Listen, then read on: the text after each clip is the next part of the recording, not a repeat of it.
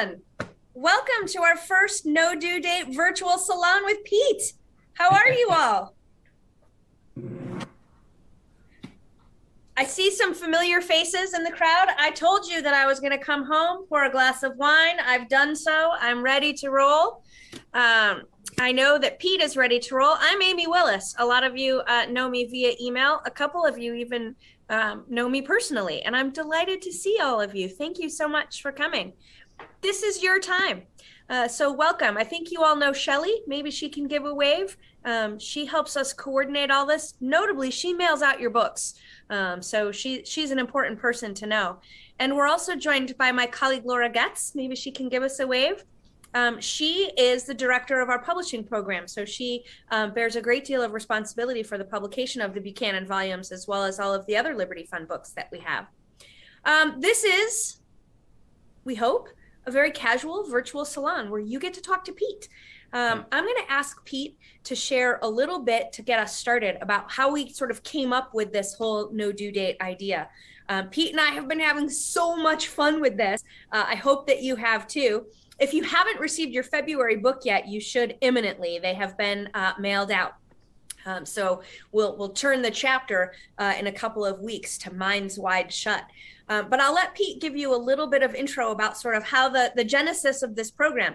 Um, this is the first time we've done a program like this, and this is our first virtual salon. Um, we, we did sort of think of this as a way for you to interact with Pete and hear about why he chose this book, why he loves Buchanan, um, ask your questions. We don't have a formal agenda. Um, we have 90 minutes to hang out with you guys, which I'm super excited about. Um, so perhaps in lieu of giving introductions all around because we have such a large group um, when you want to just jump into the conversation use the raise hand function in zoom and maybe just give a, a quick introduction uh, when you start um, we are recording this um, for those folks who aren't able to join us. Um, we even have a competing program of our own right now. Um, so I know there are, are some people who might be in a virtual reading group at the same time. Um, but in any case, as as I said, I'm Amy. I work for Liberty Fund. Uh, it is my honor and distinct pleasure to be doing this program with my good friend Pete. Um, Pete and I love to read and talk about books, and we're so happy that all of you have decided to join us and do that too. I especially appreciate. I see many of you coming in from Europe. I, I would be asleep right now. So um, I'm very impressed that you are here joining us today. So welcome. And Pete, do you want to just, um, like as I said, give a little overview of sort of how the project came to be, since this is our first salon, and we'll go from there. Yeah, uh, thank you, Amy. And uh, I agree with you about the enthusiasm of seeing everyone here. Um, in fact, you know, Laura, when I saw her here, one of the things that was so fascinating to me about Buchanan is actually the project of the Buchanan Collected Works. It's 20 volume set. Um, it's an amazing uh, scholarly enterprise that took place over a period of time, um, let alone the output that someone like Buchanan had to be able to make up 20 volumes. You know, just wrap that around your head. Um, but also the uh, effort that was taking place by Liberty Fund and others in order to produce such a beautiful uh, collection. Um, so maybe hopefully we can talk a little bit about that too if people are interested. The sort of nuts and bolts of putting together volumes like that. But um, the other thing is that amy asked about this idea. So i actually you know amy might not remember this but she asked me to recommend for the 100th anniversary of the Russian Revolution, uh, you know, five books on the history of the Russian Revolution. And I decided to give her 25 books uh, rather than five books. I recommended uh, five books in each of the section, sessions that, uh, you know, I thought would be able to round out our understanding of it. And so, you know, as academics, as people involved with Liberty Fund, we love books and our life is about books. And the pandemic actually highlighted our life around books because my friends are my books. you know, that's that's who I had conversations with every day. Uh, and I think you know, sharing like what books pique our interest. And one of the things that Amy and I used to talk about was what books would be surprising to maybe you know uh, um, so not only the high quality of books through liberty fund not only the the books that are being discussed widely among say classical liberals but like what books on our intellectual culture are really catching the the zeitgeist and and or our imagination or your imagination? And so you know we came you know amy came up with this idea about you know, trying to uh, highlight a book a month um, and discuss them. And I was just so thrilled to be part of it. And, you know, so it's, it's great. And the selection criteria is a combination of the books that I think um, are extremely valuable out of the Liberty Fund collection. At the same time, what books maybe were valuable to me in my own uh, framing, and other books that I think are capturing critical ideas at the moment in time. And so that kind of makes up the set of things that how my brain is working on this. And and again, I do want to surprise some of you. I'd like to pick a book off the shelf that you haven't heard yet, in combination the books that you, you know you would feel like you had to know, right? Kind of thing. So, but anyway, I'm really interested to hear your reactions and and the questions that you would like to ask about Buchanan and, and his ideas and his work. And no question or criticism is out of bounds. It's true. Pete can't pick just one book or five books. I put all the links of his Soviet recommendations in the chat. As I said, it's going to take a few links. So thank you for managing that for us. But gotcha. Thanks, Max. Uh, I, I think that means I'm saying hello. Um, I, I, Pete really has like a nice Zoom like framing thing set up. You can tell this is well, like the lines of like the chair and everything. you can tell you've got this down. Um, we worked on this, Max. yes, yes, uh, clearly. Um, so, hi everyone. Um, my name is Max Gulker. Um, I'm an economist. For those who don't know me, um, I um, this will come out more in our discussion, but I kind of got educated in a very different tradition and sort of ended up with something that didn't maybe work as well for me, although I kind of learned that slowly, um, and have been fortunate enough to find maybe um, kind of later on um, some ideas and approaches that do work better. And um, I work I worked in the private sector um, in litigation for a bunch of years after my PhD, and that actually is an interesting perspective too. But um, I work in like the think tank policy research world now, and I'll continue to make it all up as I go along. Um, but I, um, you know, one thing is I, I, yeah I've been fortunate to get to know Pete a little bit and and um, Steve last year as well and a lot of other people and um, been kind of interested and, and, I to me one one thing that I've really noticed about um, George Mason and Pete is kind of the teaching and I've I, I have to say I can't help but sometimes feel a little bit ripped off like hey why didn't I and and so this is like a, just like a little bit of that for me uh, and kind of going through some of the material. So I'm I'm very pleased and excited about that. Um, are we going around and uh, you know I can I'm not the, the the thing the educational thing I put on Facebook I'm going to leave there for now. But I mean I have stuff I could say, but I also if we're just going to kind of introduce ourselves, let's I'll let Amy and Shelley we don't really have an agenda, Max. I mean, like I said, um, let's let's just have folks jump on in and and either share their thoughts on uh, Buchanan Volume One, ask Pete questions. I mean, uh, really, this is everybody's opportunity to engage with Pete. And I see it. I see a couple hands. So, uh, Max, do you want to do you want to add something else, and then we'll get to Sabine and Scott. Oh, okay. We lost cool. you. Sabine, go ahead. We'll come. We'll come back around. We've got plenty of time. Yep. Hi everyone. I'm Sabine. I work at the Institute for Liberal Studies in Canada, in Ottawa, Canada. Um, really enjoying this so far. Thanks so much for doing this. Um, so my favorite essay was. Um, let me tell you. So I really, I've, I've read Politics Without Romance before. Uh, I still really love it. I think it's really great. Um, and I feel I felt like I understood it better after reading What Should Economists Do. I never really I, I, thought I understood it before, but after I read that, it's like, oh, this so makes so much more sense to me where he's coming from because I agreed with him before, but now I agree with him even more um, on what he's saying in that essay. So I guess my question for Pete that I was thinking about while I was reading this is, uh, how does I'm not an economist. I did political science, and we love to give advice, like policy prescriptions, all we do. so I don't understand how like it must be so difficult uh, that for an economist to resist the urge to be prescriptors rather than observers, because it seems to me that what um, Buchanan is saying, and from what uh, Pete said at the meeting we had last week uh, with Munger, with Michael Munger, uh, that he, Buchanan thought that economists must cease giving advice. Uh, and I think that's so difficult because you have people like Thaler and Sunstein, the, that kind of approach with their nudge book. And that's something that I find very upsetting.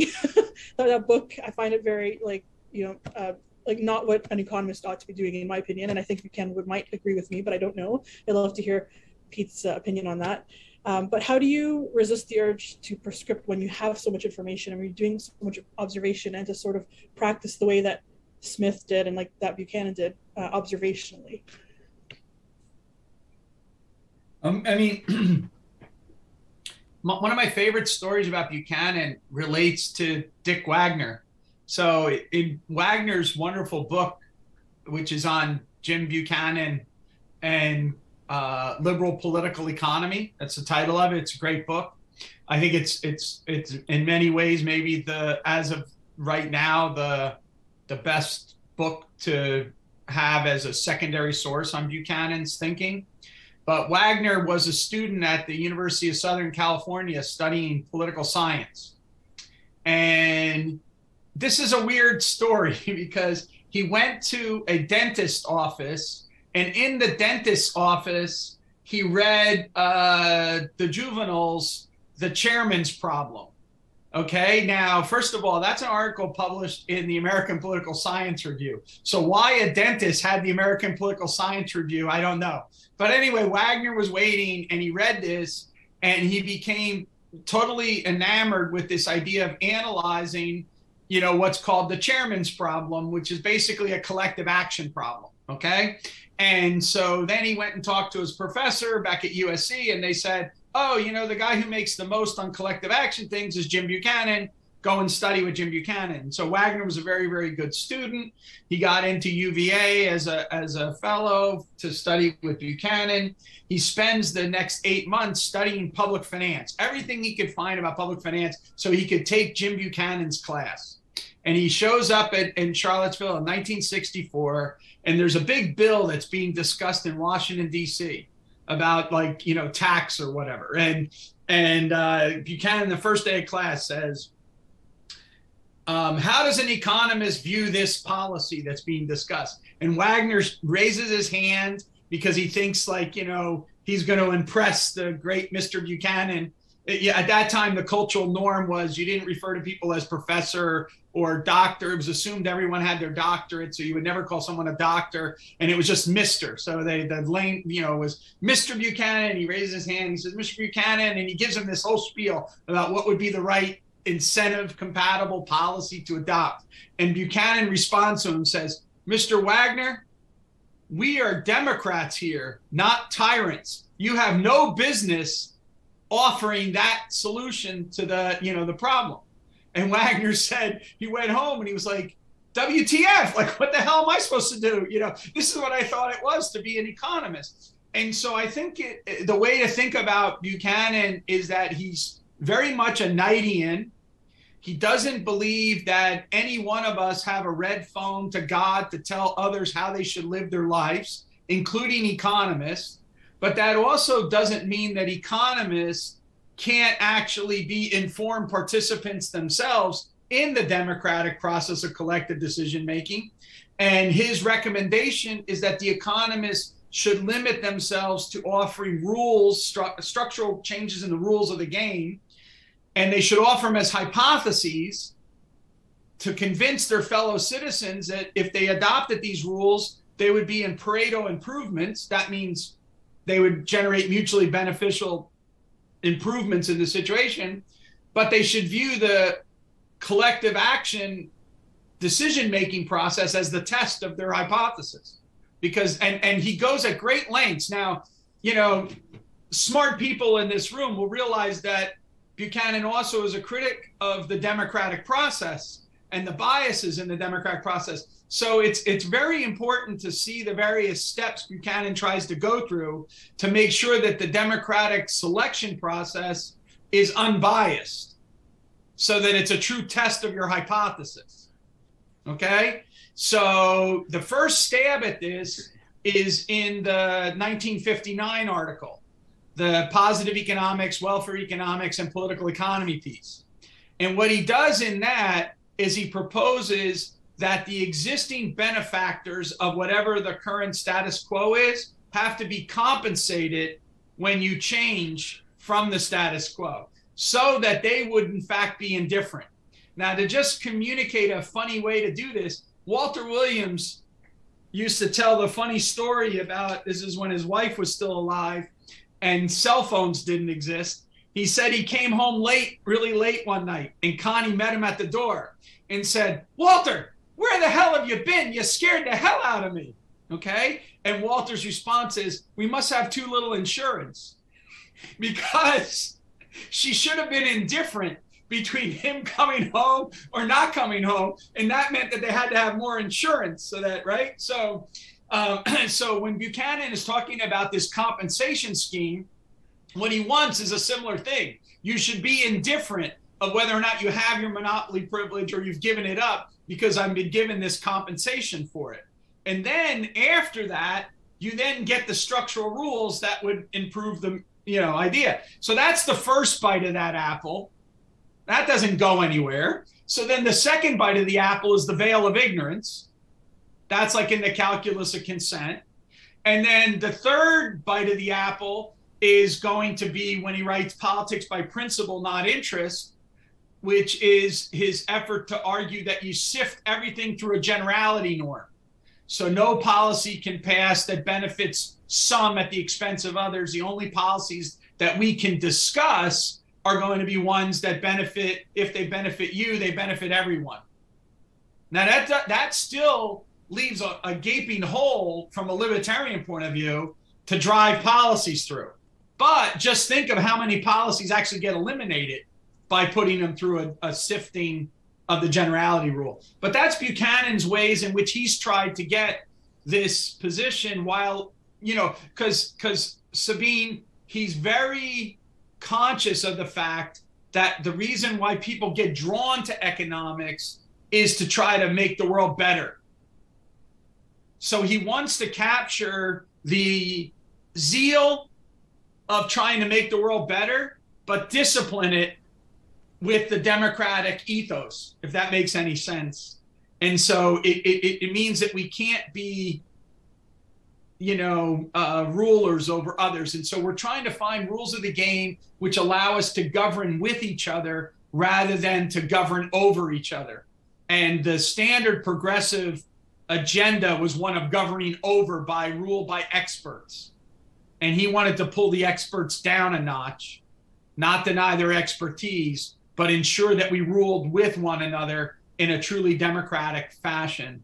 Democratic fashion here meaning not uh, one man, one vote, but instead democratic ethos, meaning we treat one another as our dignified equals, worthy of respect and stuff. So anyway, I'm going on too long, and this is not meant to be a seminar. It's meant to be a conversation. So I, I, I, would love to hear your reactions to that because obviously there's a lot of tensions in that project as well, right? I mean, one of the things about authors that I find fascinating in political economy is that the people that I like to talk about, Hayek and Mises and Buchanan and Tullock and, and all of these people, Adam Smith or whatever, when they have tensions, I see them as pregnant.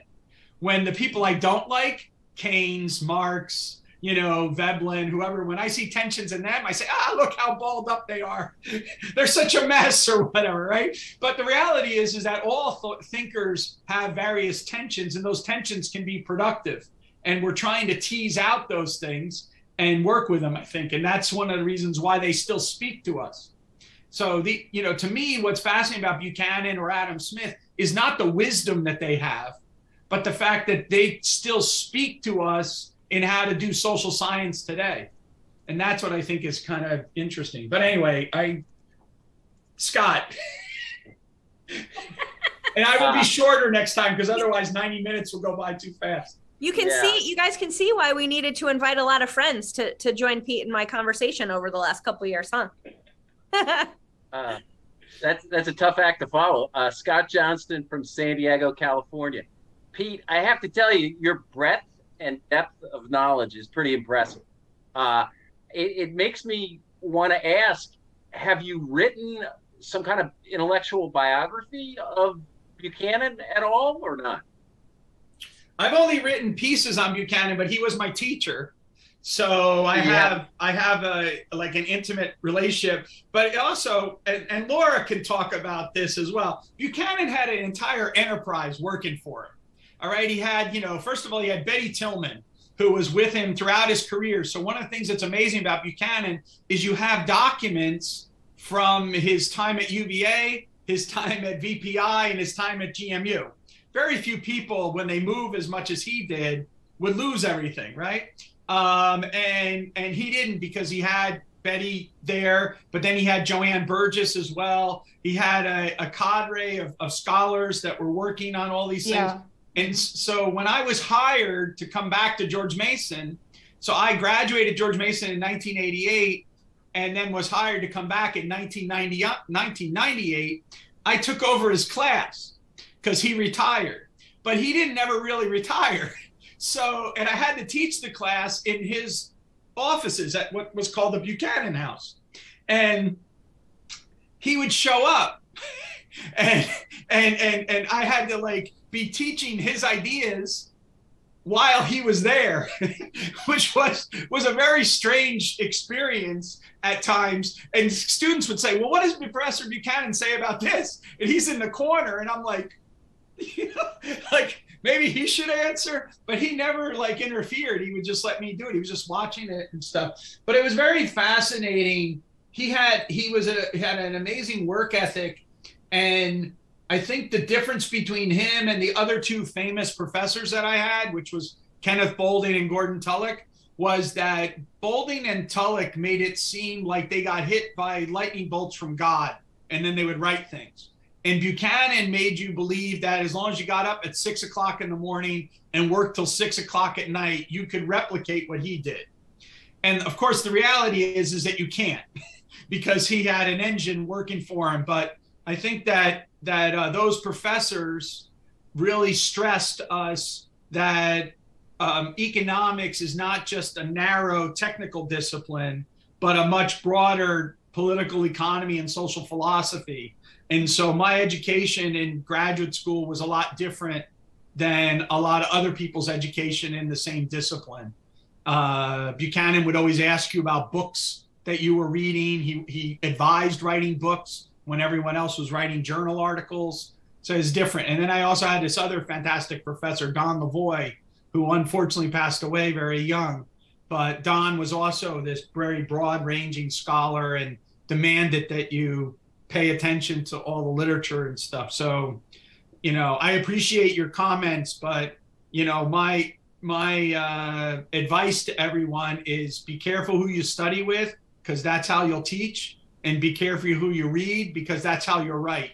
And so I was very fortunate to have the people that I studied with.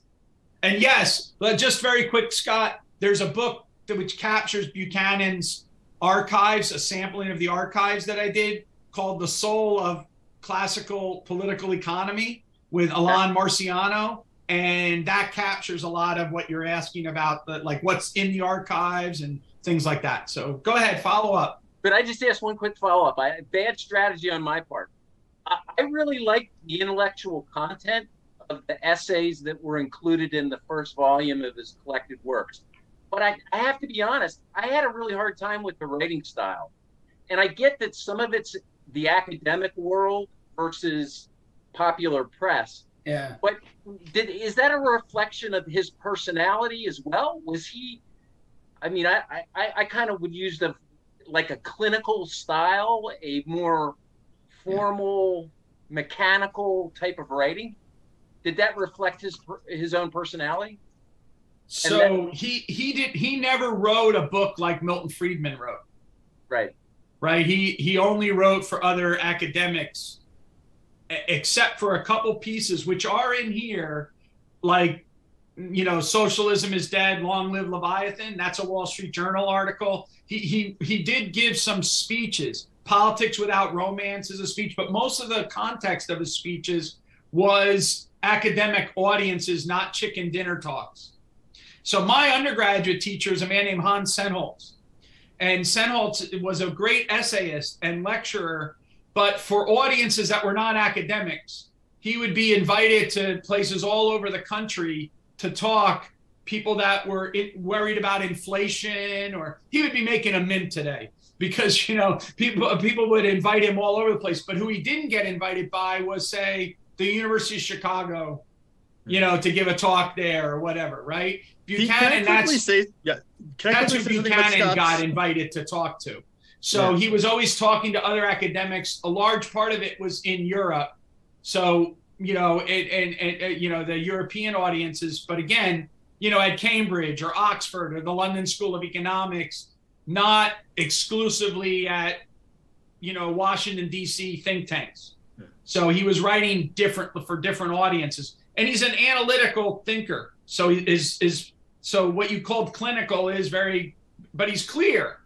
He, I would say he's a clear writer, but he is a, a, a clinical writer. Yeah. I, I'm I just want to.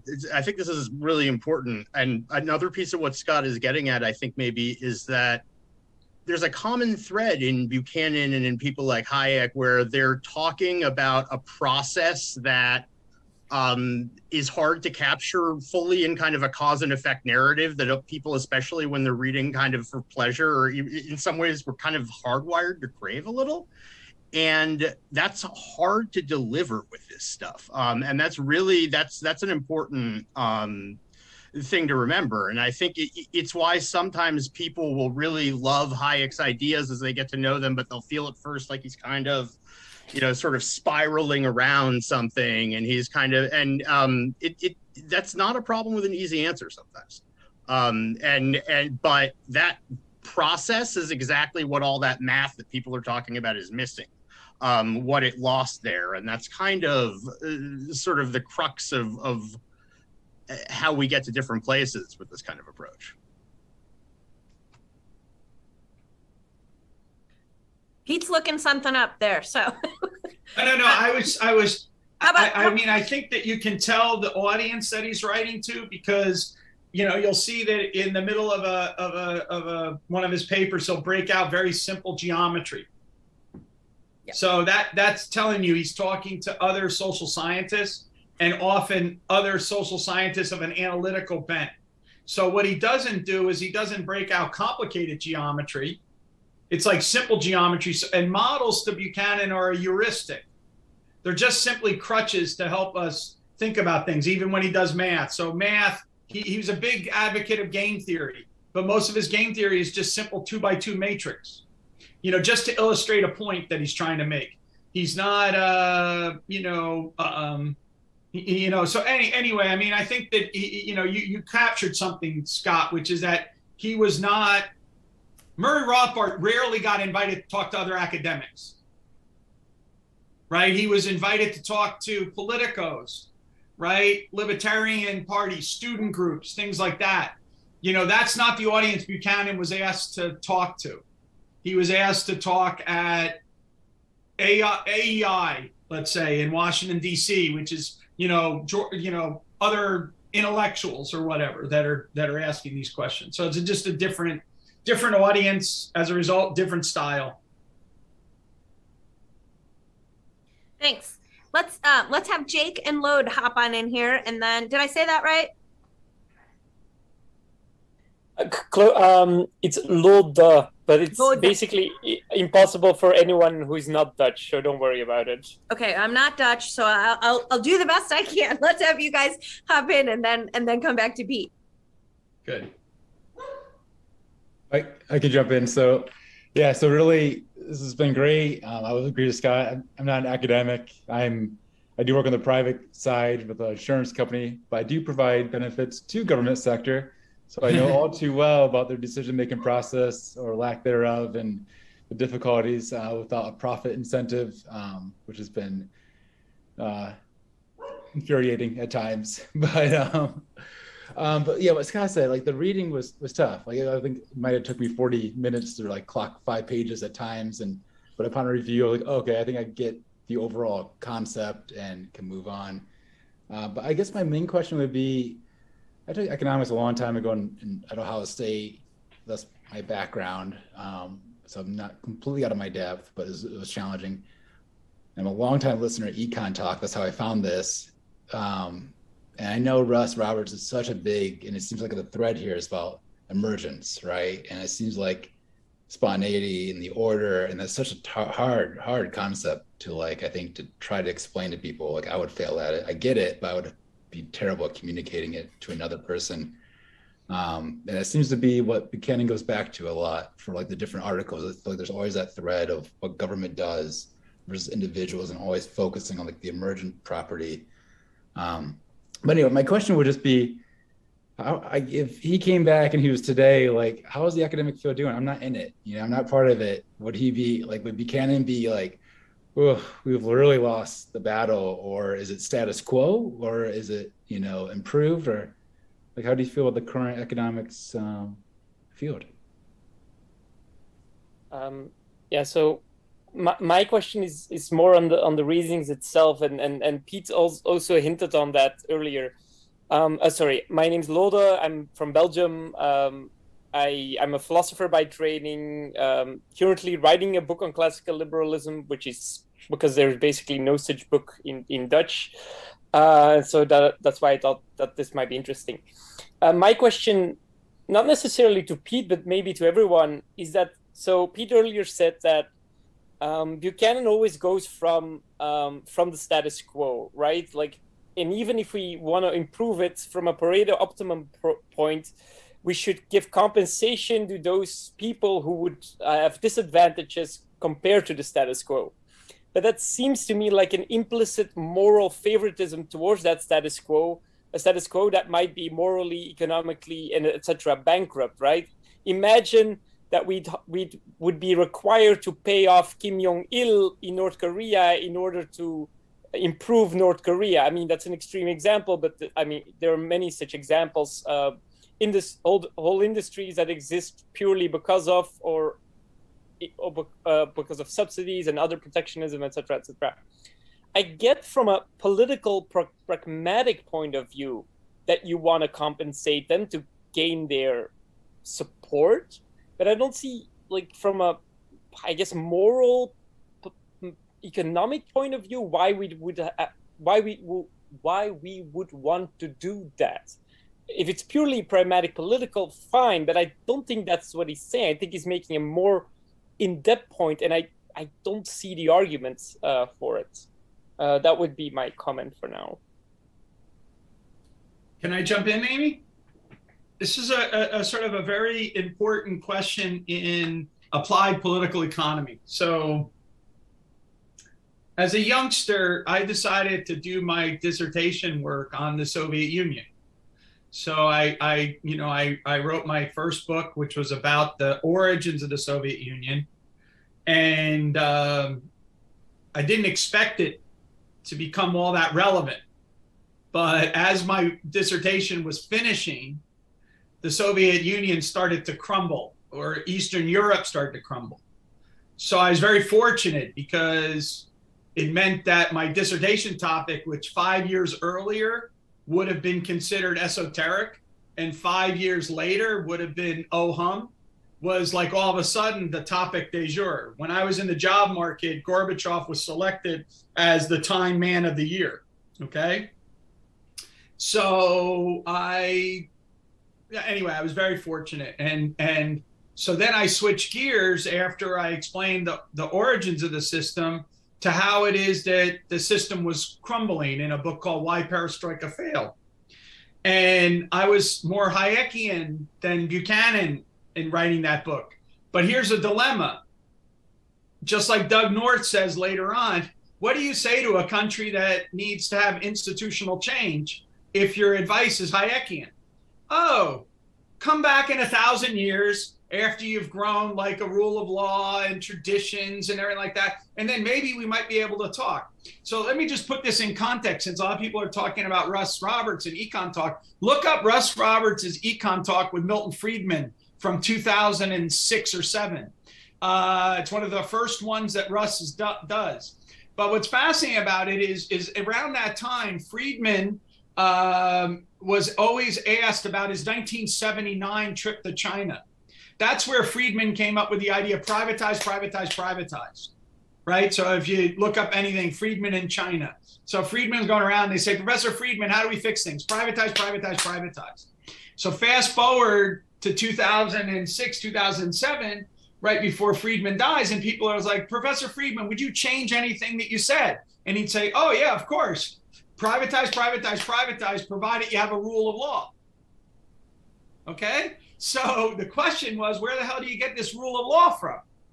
And so one way to think about like the rule of law is like what the Ostroms are doing, which is how do you create the common knowledge from the bottom up? That's what's going on in governing the commons. But or another way to think about it is Buchanan's constitutionalist project. So that forced me to start paying a lot of attention to like what Buchanan was up to in a way that I wasn't even really prepared to do prior to that and thinking about those kind of questions. And when you start thinking about Buchanan and constitutional agendas, right? One of the things that you find right away is this issue of his position of the status quo. And he insisted that he had no moral worth. It just is what it is. The way he used to say it in class all the time is we must begin in the here and now.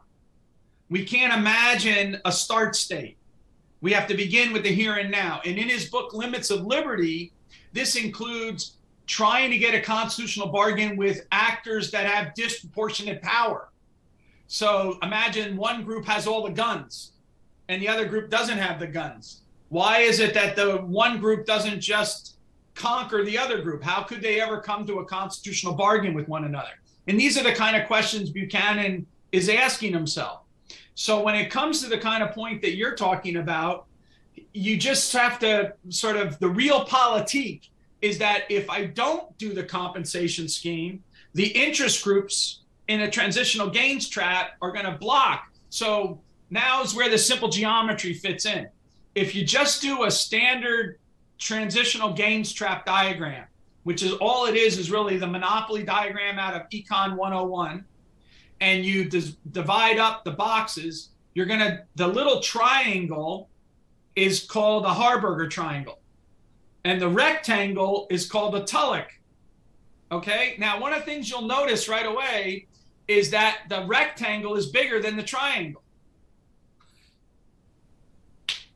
So, what does this mean? It means that I'm going to have to pay $25 to pick up a $20 bill. Nobody ever does that. Okay? Which means what? That the status quo is just going to continue and continue and continue. So, what you have to do is you have to devise strategies that will, in fact, make it be that the $25 it takes to defeat the interest group gets lowered. All right? So, the realpolitik matters for reform. So, let's take some comparative historical examples. In the United Kingdom, the abolition of slavery was driven by a compensation scheme to the slave owners. Now, you might say that's morally repugnant, but what didn't happen was a civil war. Right? So, what happened was that the property rights were shifted. And so, as a result, the, the practice went away. All right. And we didn't have to fight a civil war over it in post-communist Russia, insider deals were struck with the, you know, nomenklatura. So privatization through the nomenklatura, right? Rather than having and and again, just like in the slavery example and just like in the post-communist example, there's always, you know, all kinds of pitfalls. So one of the things that happened in post-communist Russia was the fact that the insider deals ended up by becoming the groundwork for the oligarchs. because they were able to erect new barriers to entry to protect themselves, right? And so we we never got rid of the politicization of the economic life in Russia. A premise of the compensation scheme is that you get rid of the political, you never have a new barrier to entry, right? You've already been paid off. So it's like hush money. Like I pay hush money for people to hush. If I if they if I pay them hush money and they keep talking, I haven't I haven't done my job, and that's kind of what happened in post-Soviet Russia. Um, and so th- th- these these schemes work. But the question back to you is, what alternative would you have in a world beyond uh, after public choice that doesn't rely on magical thinking? Like all of a sudden, the existing rent holders are going to say, "Okay, here's my rents," right? And so that that's what's in Buchanan's thought process, if that makes any sense. It's like realpolitik no moral worth granted to the status quo. The status quo is just where we are when we start our bargaining. And we have to figure out a way to bargain off of that spot to get to the the, the Pareto improving change in the rules. I don't know. That's the argument I, I in a nutshell, I think. Awesome. Let's get Ben and uh, Michael Makovi in there. Uh, well, uh, thanks so much, Pete. Uh, you know, for doing this, and Amy and Shelly for organizing and everything. Really appreciate it. My name's uh, Ben Peterson. I'm at Abilene Christian University uh, down in Texas, um, and I'm a political theorist, trying to learn a little bit of uh, economics, and really intrigued by the constitutional economics in particular, kind of that we've been reading about and discussing. Um, the I want to raise kind of, I guess, a two part two part kind of issue or question. It came up in the talk that we had with Mike Munger uh, for a little bit. Um, Pete, I'd love to know what you think about this. His point about um, at least a potential fundamental contradiction with Buchanan's thought. You know, the idea of um, you know things, uh, constitutional rules and everything have to be determined based on consent, right? It's the contractarian tradition.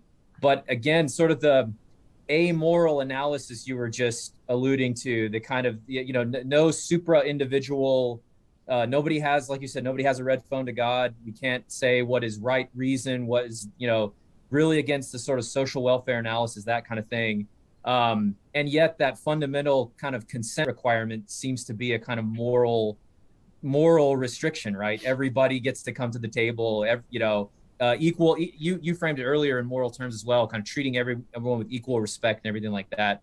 Hey, I just would be curious if you agree with with Dr. Munger on that.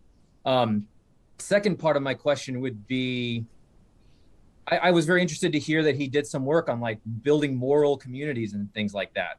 Um, and and I guess it seems like one he's and it, almost he talks about in some places this faith in cooperation, right? The the cooperative capacity of human beings to determine rules together um, constitutional rules. It, it seems to me like one source of that cooperation might be precisely, you know, common agreement on supra individual moral norms, whether they're religious, whether they're just constant. Hey, because this is our constitution, you know that we we all believe in it, and we have we have beliefs about liberty, we have belief, beliefs about um, all kinds of moral norms. We might believe it. So anyway, I just was kind of curious. What do you think about how you you might think about some of that? How Buchanan might think of um, some of those questions about morality, where he's insistent on not, at least for the scientist perspective, not bringing in any kind of supra individual norm.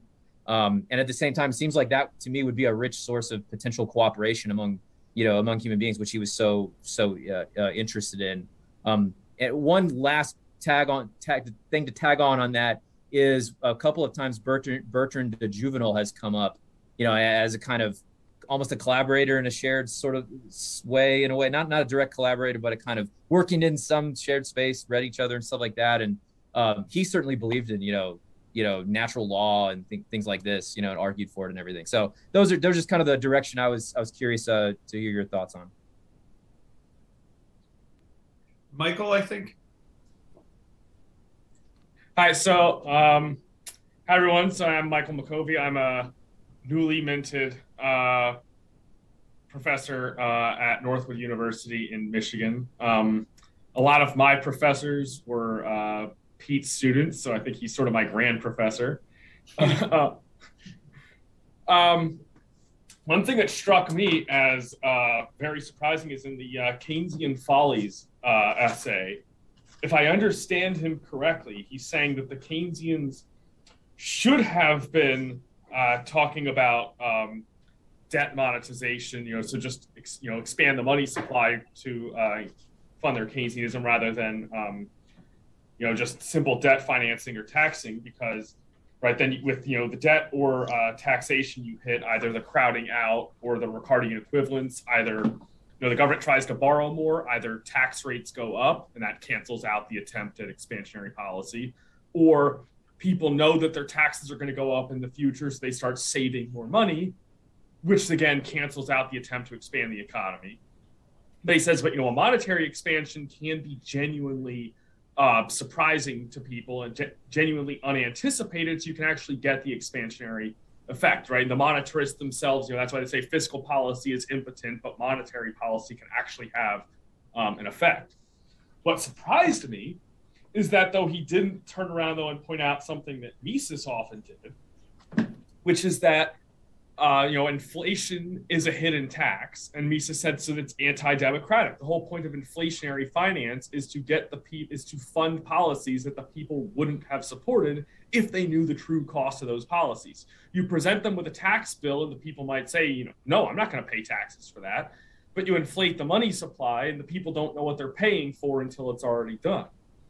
And so, and like you have, um, I think like uh, you know William Hutt and um, you know, Mises and others would point out that a lot of what Keynesianism reduced to was if labor unions have forced wages above the market clearing level, well, let's fool them. Let's let's cause inflation until the uh, nominal wage equals the real wage, and uh, the market will be clearing. So let's just fool the labor unions. Well, eventually the labor unions figured out that's what you were doing. And so they hired economists to include an indexing in their contracts. And so Keynesianism stopped working as soon as the labor unions realized they were attempting to be fooled. So I'm surprised he didn't point out look, Keynesianism ultimately reduces to this anti-democratic attempt to fool the people if we're committed to, you know, lowercase d democracy, yeah. Uh, for lowercase d Democrats maybe then we should stick to tax financing. Yes, that will lead to crowding out. Yes, that will spoil Keynesianism, but that means it's spoiling the attempt to fool the people. So, like, you know, yeah. Yeah, it's a. I'm going to come back to your, your your very astute observation after I address, you know, the the question that Ben raised first, if that's okay. Um, so, Ben, in this volume, there's a piece on the foundations of normative individualism that uh, you know might be useful to look at. And I also think wrestling with the essay on the relatively absolute absolute makes uh, would would bring up some of the issues that Mike was talking about in Buchanan's own uh, way to wiggle out of difficult spots. So you know, there's no reason for you guys to know this, but Buchanan uh, graduated from University of Chicago in 1949, and as part of his agreement, he had to go teach back in the South. So he went back and taught first at University of Tennessee, then he became department chairman at the Florida State University, and then in 1956 he was recruited to become the department chairman of the University of Virginia. And, uh, and he was joined there by a fellow classmate from Chicago, G. Warren Nutter. And they founded their center because they had agreed back in 1949 if they ever ended up at the same university, they would create a research center to oppose the current path in which economics was going in. And so I have to address the question Jack raised as well here um, which I didn't get a chance to do. But uh, and they create a center called the Thomas Jefferson Center uh, for Studies in Political Economy and Social Philosophy. And uh, the the main idea um, was to create a research and graduate education program which would promote an economist to study in the broader classical political economy tradition rather than in the narrow economics as engineering tradition. Okay. And so that meant that you had to talk about the rules of the game and, and all of that. Now, that eventually leads to the book, The Calculus of Consent.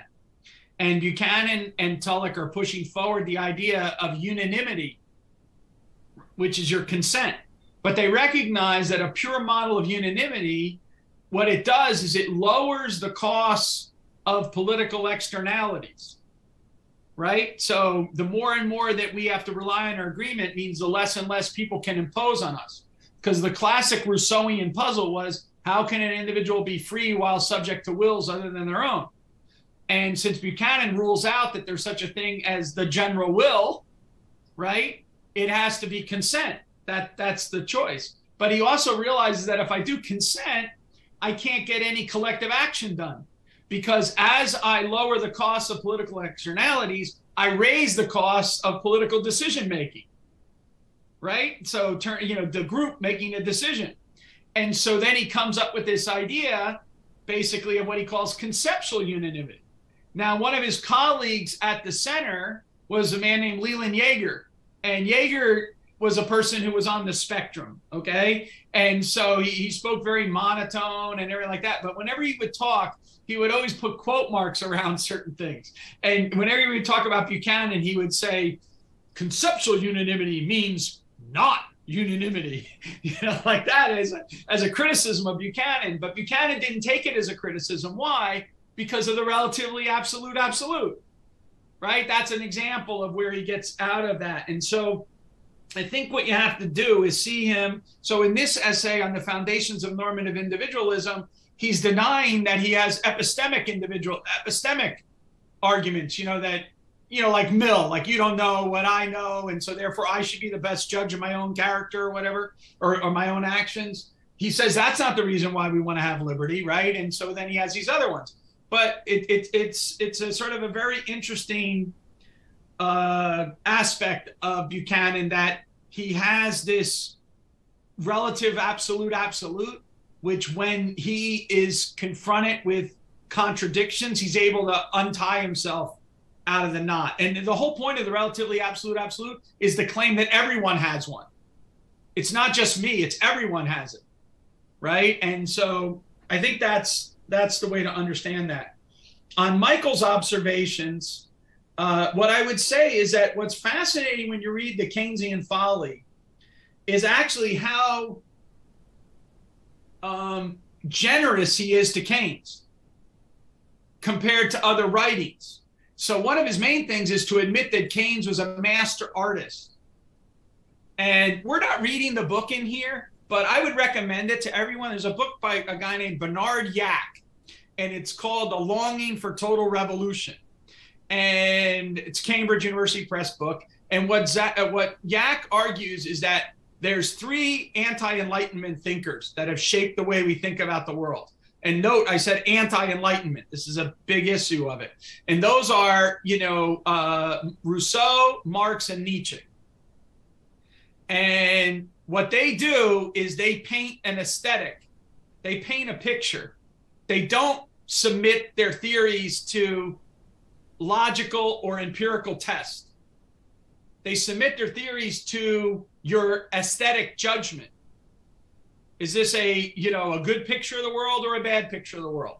And that's why you can never get rid of the Marxian view or the Rousseauian view by evidence and, and, and argument, right? It, it's, it's this picture that they have. And by, in some sense, Buchanan invoking Keynes as an artist, which he does in that essay, he's actually putting Keynes on that same kind of footing, right? Keynes is painting a picture about the Great Depression. People like Friedman and, and Hayek try to argue against him. You know, like Keynes begins the Great Depression with unemployed resources. You know, Michael invoked Hutt. Hutt wrote a famous book called The Theory of Idle Resources where he pointed out, right, that, you know, if you begin in a world of idle resources, you can't explain where the idleness of the resources came from. Right? But that doesn't affect Keynesians, you know, or whatever. So, you know, these issues come. So I would point, Michael, to democracy and deficit as Buchanan's real analysis of the kind of questions that you're talking about with Keynes and the deterioration of the life political that happens because of the Keynesian apparatus. Because the short run solutions to a world of unemployed resources, um, what happens is that it's not a sustainable long run solution, but the politics of it are is that you continue to follow the short run policies as if they're in a sustainable in the long run, and that destroys the body politic and is anti-democratic. It destroys the demo- that's why it's democracy in deficit. And I and I think your point about Mises and the hidden tax of inflation is a very important one.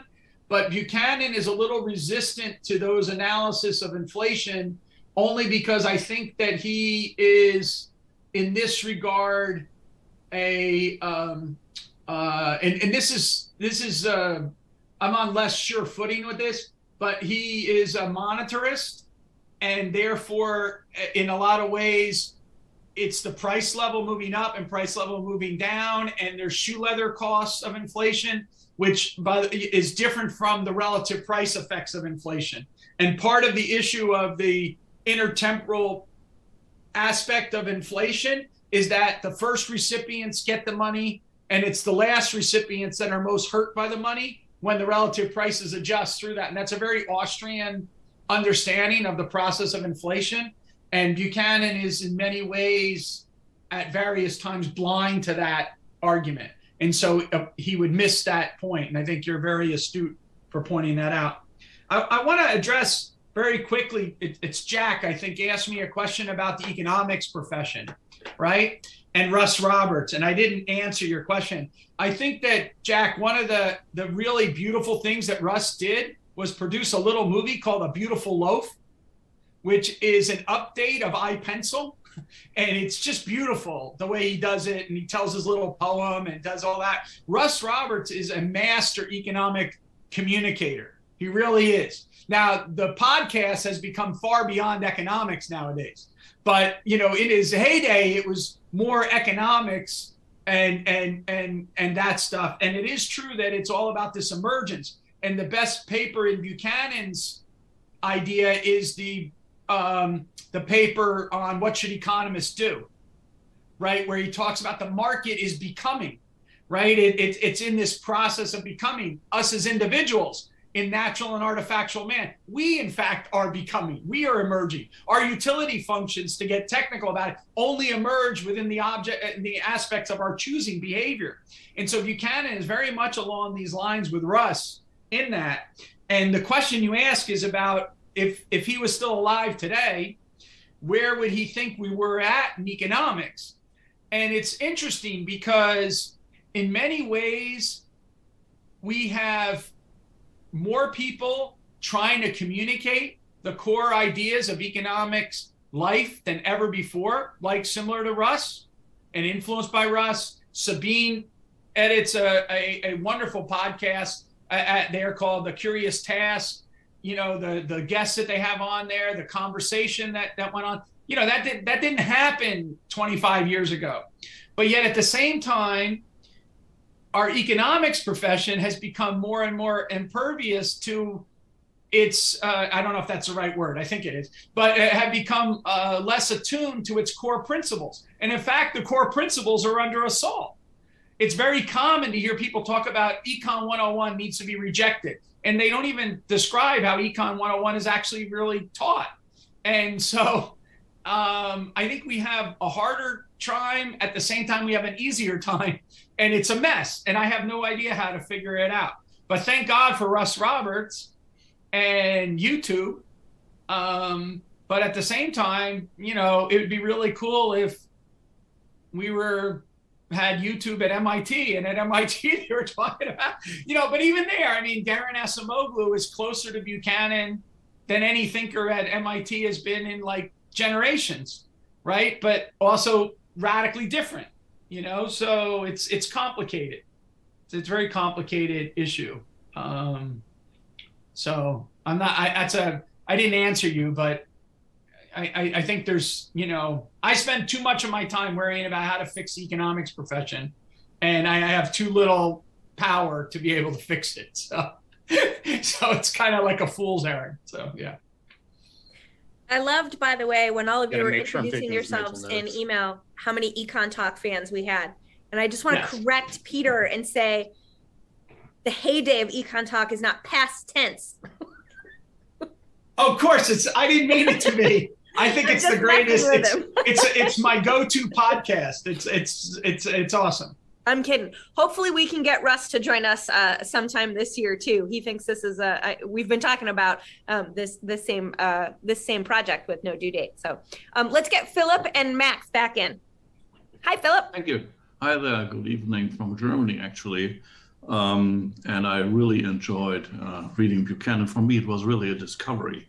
Um, um, about me, I'm, I'm a fintech entrepreneur in the blockchain space, and I'm a retired partner of a global law firm. It's, when I started with uh, studying law, I started also with the economic analysis of law. So Alchian Demsetz Coase, um, you know, Akerlof, um, um, in, in Schelling, and the likes were, were a kind of, uh, um, for me, the intellectual heroes. And then I moved into financial economics and I missed Buchanan.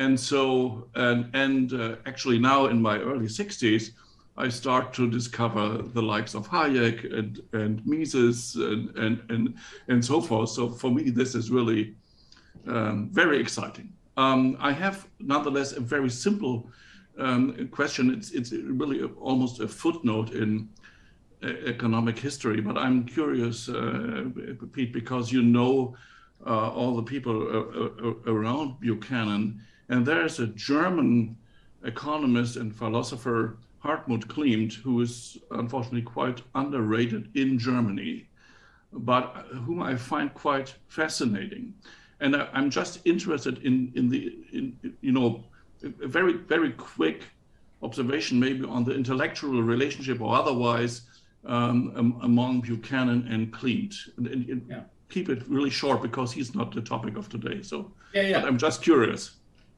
Uh, uh, uh, let me respond to that, Amy, real quick. I mean, and and and maybe Laura can talk about this as well. He was one of the editors of the collected works. He wrote his doctoral thesis, I believe, on Buchanan and sent it to Buchanan. Buchanan was very impressed that he understood what Buchanan was up to as an intellectual exercise, and they became uh, close collaborators and uh, and friends, actually, deep friends. And and so anyway, Laura, if you want to, because she dealt with the editors. Yep.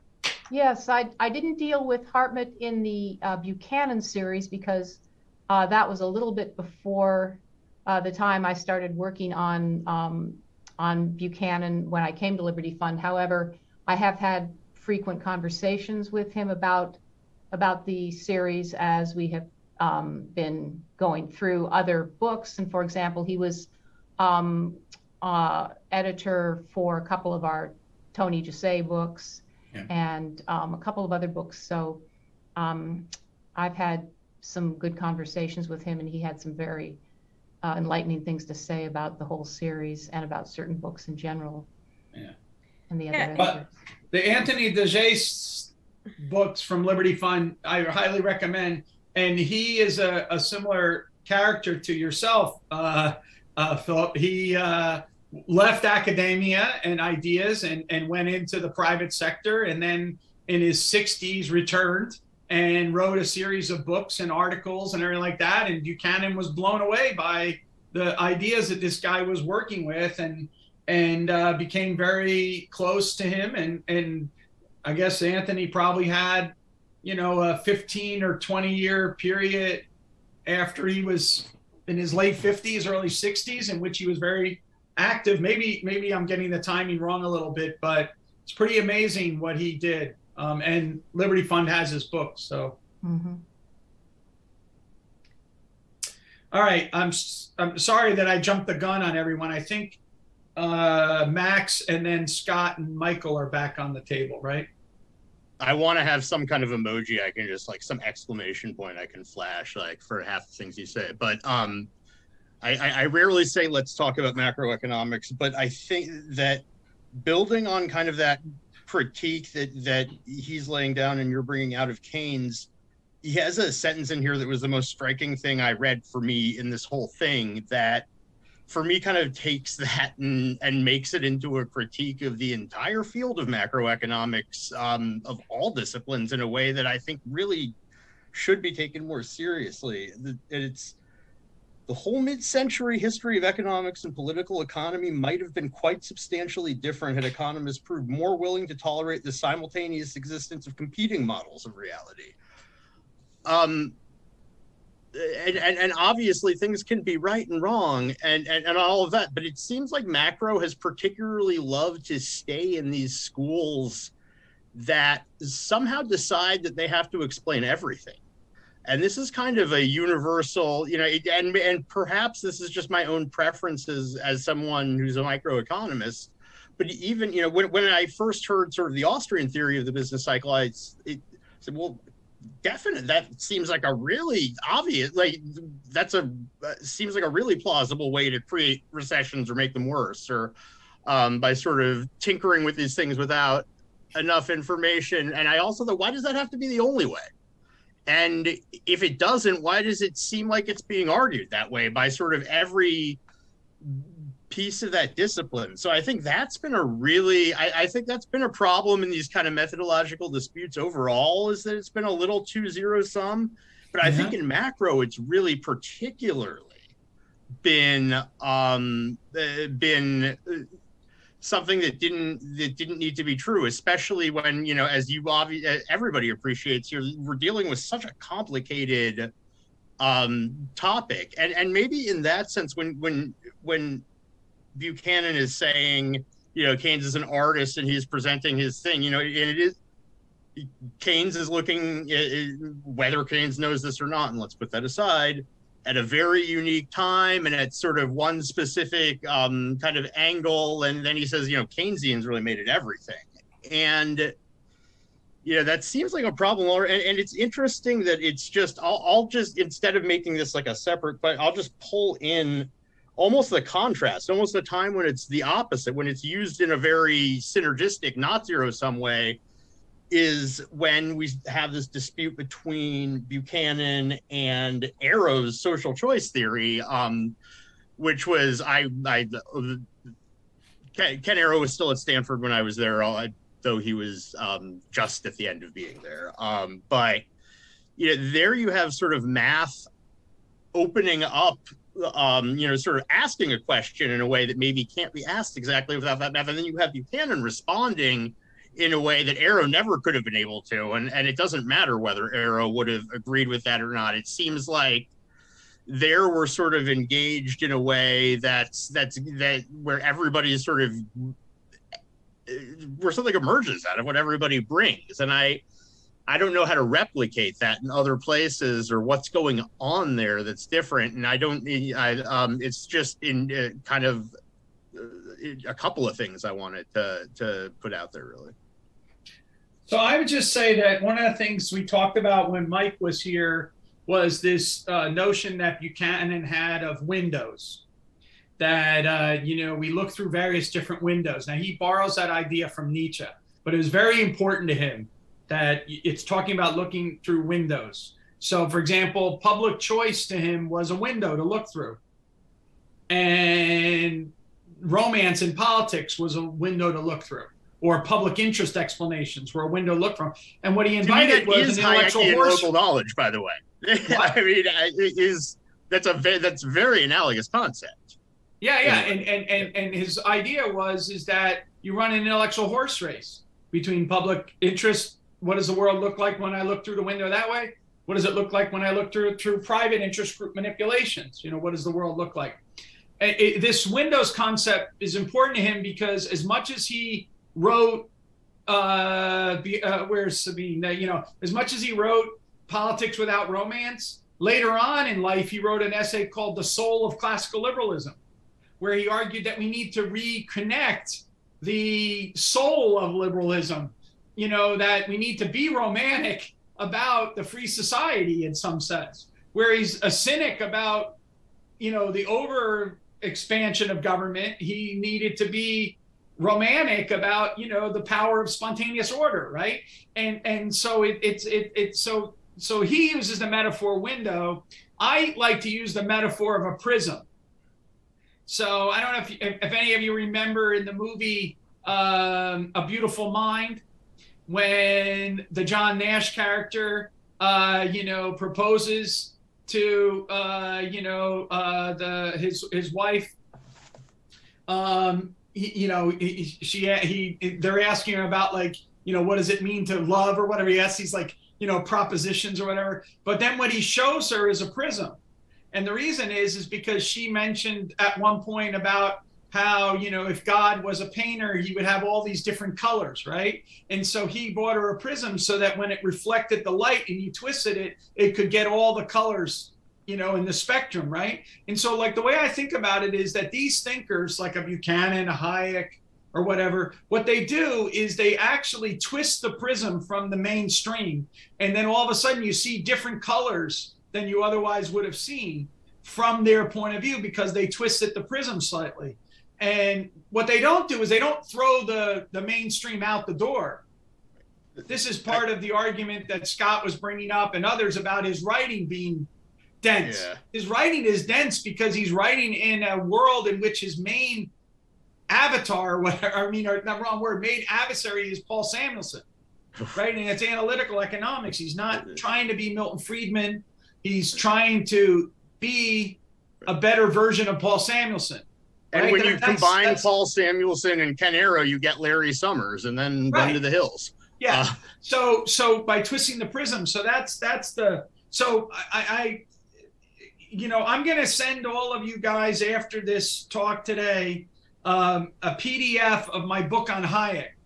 Uh, I'll give it to Amy and she can distribute it. You, you know, um, and it's uh, there's a on page 54 in there. I have a diagram, a Venn diagram, which talks about what you were just talking about with the Keynesian model. Because the problem is, is that in order for the Keynesian system to work, it, it's a unique case in which you have a conflation of trusting citizens, a sincere government, and a capable government. And it's only in that intersection that the Keynesian prescriptions would actually work. Any time you find yourself outside of that, so with distrusting citizens, they're going to checkmate the Keynesian policies.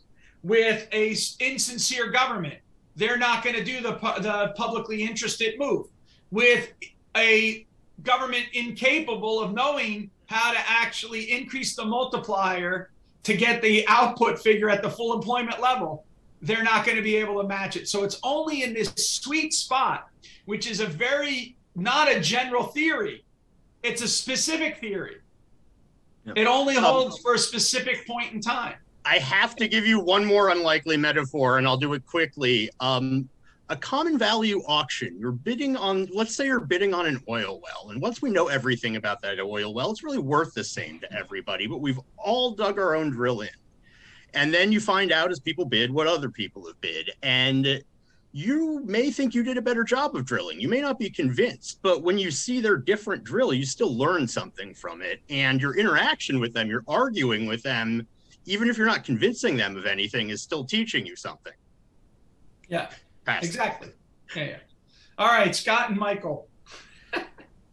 uh, I, I, think this is a two-part question, Pete. And the first one is just if you could say, tell me yes or no. Is natural rights a question about natural rights fair game?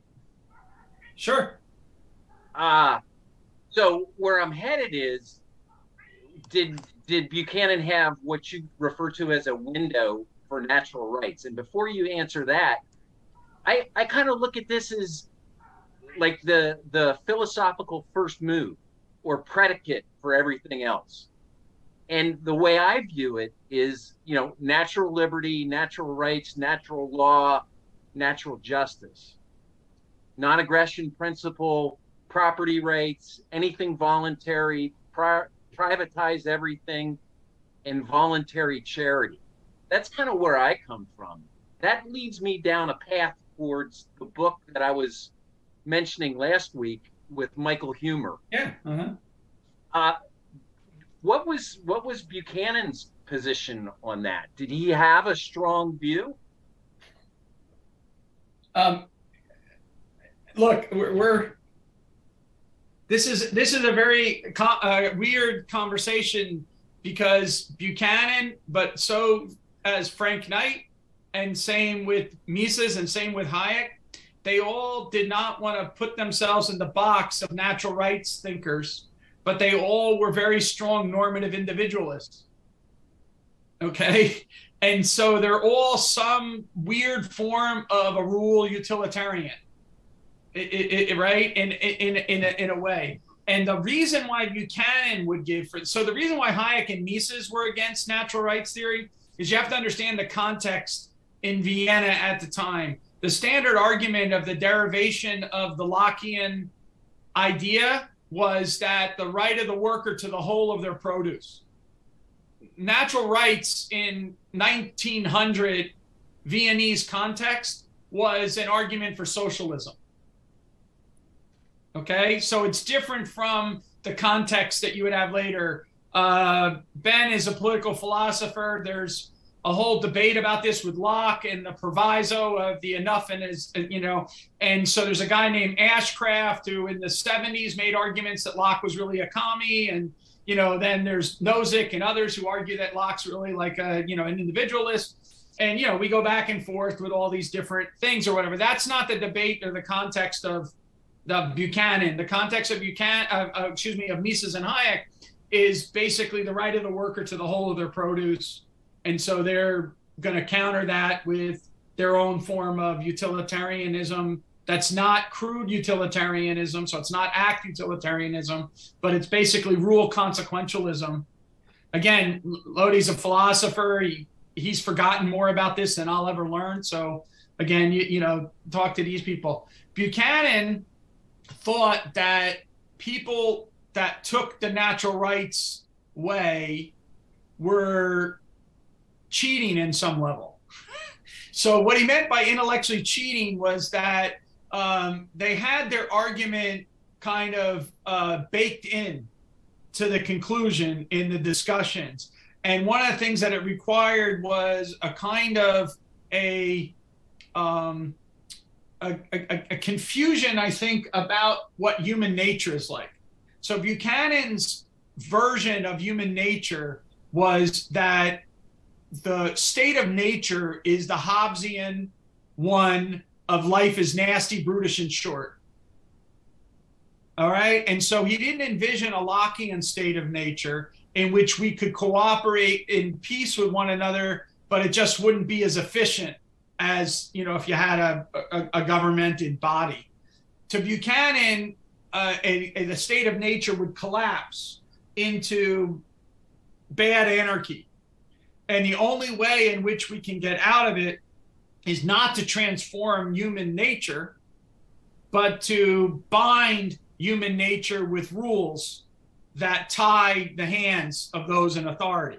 And so that's why the constitutional project is the leap out of the jungle, uh, you know, uh, or the leap out of the out of this state of nature.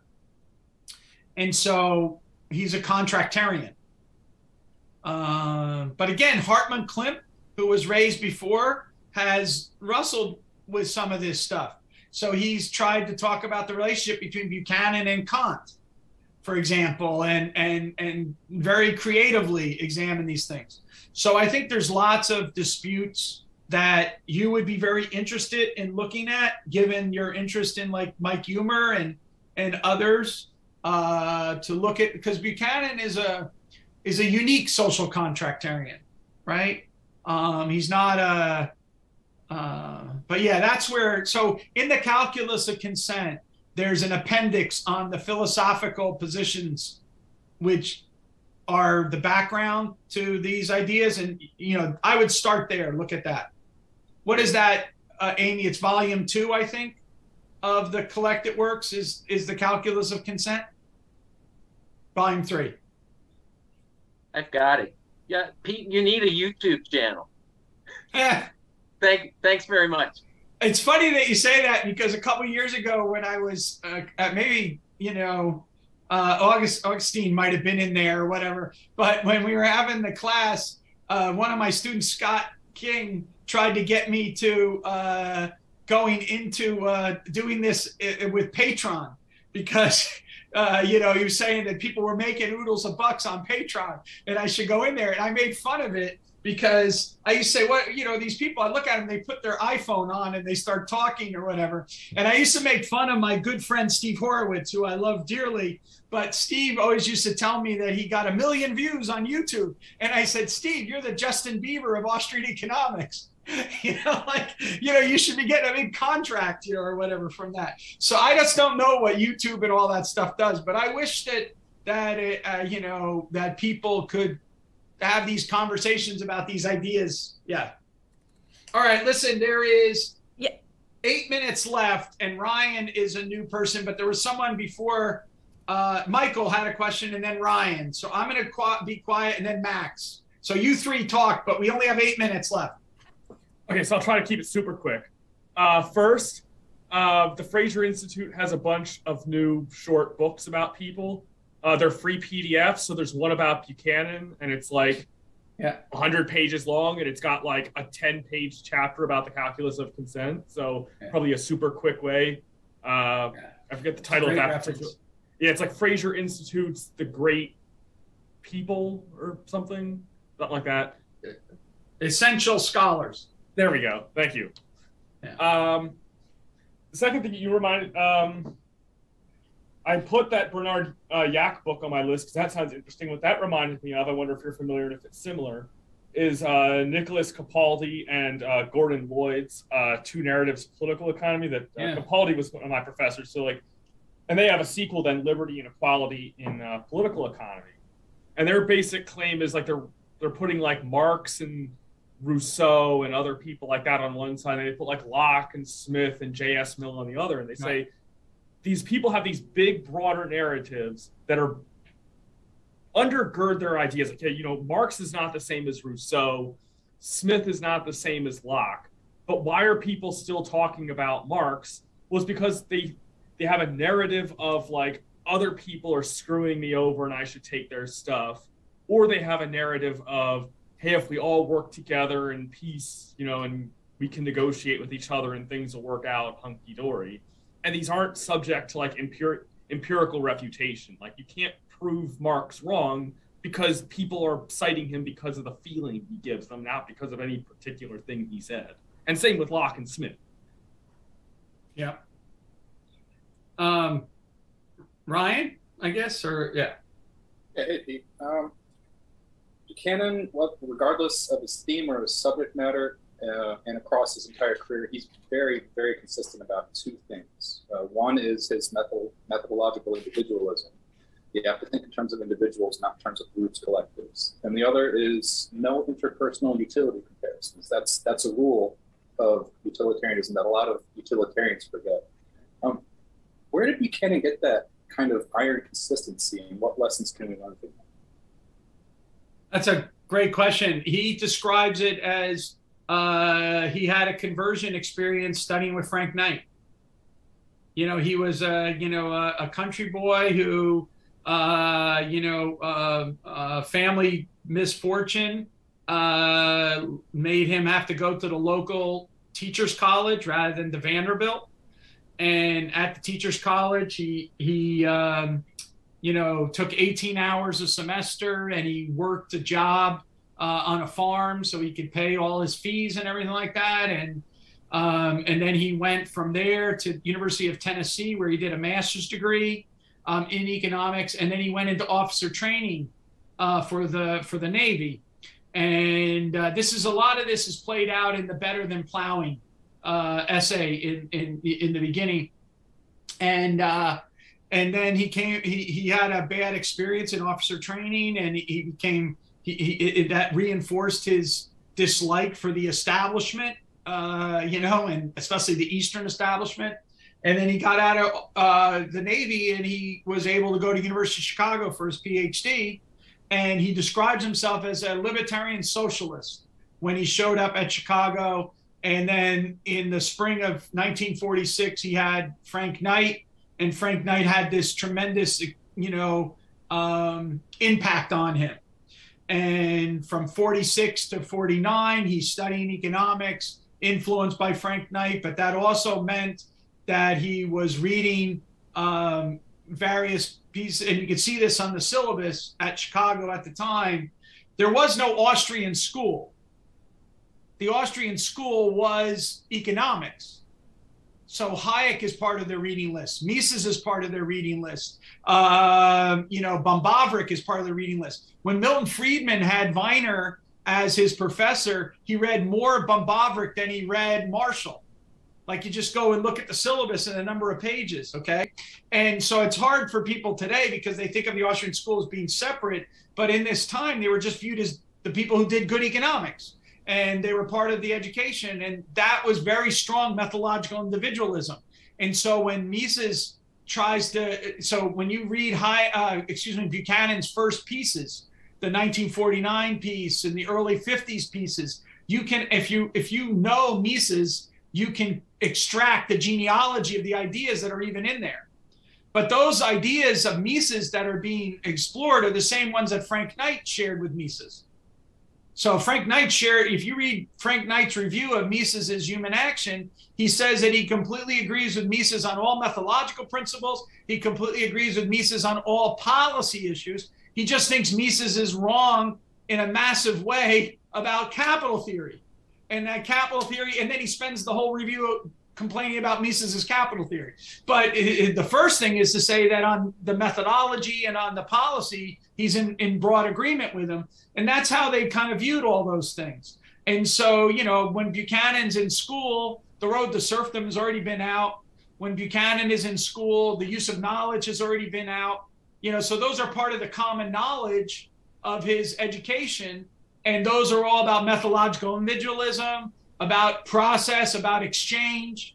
I mean, think about even the What Should Economists Do, right, piece, which is a decade later. But the whole point of that is that I'm studying exchange and the institutions within which exchange takes place.